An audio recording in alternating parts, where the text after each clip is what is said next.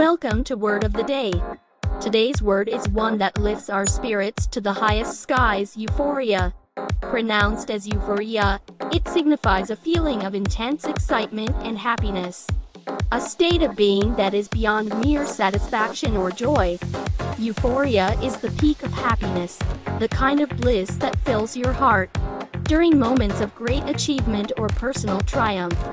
It's the overwhelming joy you feel when you're surrounded by loved ones, or when you experience something truly magnificent for the first time. Imagine the euphoria of reaching the summit of a mountain after a challenging climb, the rush of joy at a surprise reunion with an old friend, or the sheer bliss of achieving a long sought dream.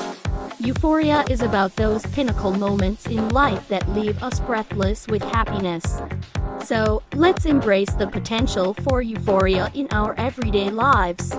Seek out those moments of pure joy, cherish them, and remember, euphoria is just around the corner, waiting to be discovered. Stay curious, chase your happiness, and join us next time for another inspiring word journey.